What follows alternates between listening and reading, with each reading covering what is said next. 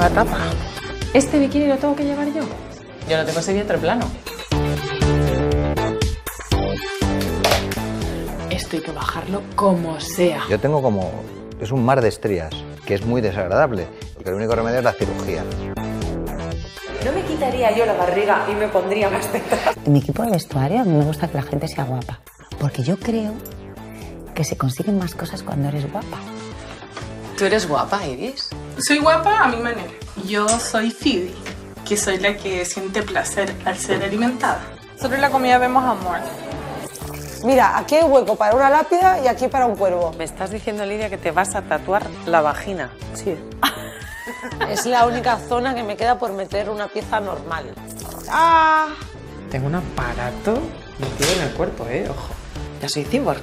¿Por qué te pusiste la antena? Para extender mi percepción del color, percibo desde infrarrojos ahora hasta ultravioletas. O sea que esto lo tienes conectado al cerebro. En el hueso occipital. Y después añadí internet, que también tengo conexión a internet en mi cabeza. ¿Vosotros sois la familia que come insectos? Sí. ¡Ah, que comas Samantha!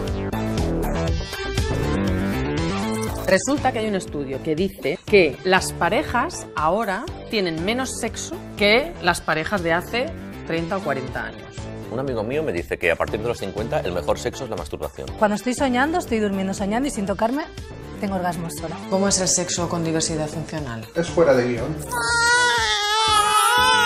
Son las 7 y media de la mañana y esta noche probablemente haya dormido como máximo una hora 45 minutos seguida. Mi vida ahora mismo es llegar de trabajar y dedicarle todo el tiempo a mi hija.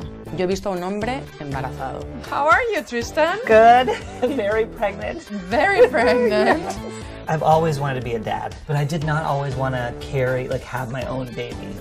Ay, qué pasada, míralo. Y ahora tienen que sacar rápido los otros dos.